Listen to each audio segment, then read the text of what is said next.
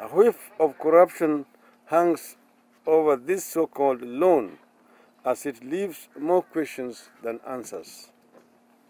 We are here to seek very specific answers from none other than the President of the Republic of Kenya, His Excellency Uhuru Kenyatta. First, this so-called loan looks more like a bribe to senior persons in government than a loan. It has been given on condition that the government of the United Arab Emirates will appoint an agent to operate, manage, and undertake the expansion of the second container terminal of the port of Mombasa.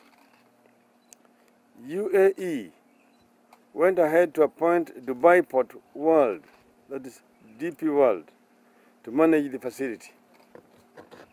It would appear the United Arab Emirates did not win but purchased the management of our second container terminal at a cost of 275 million US dollars.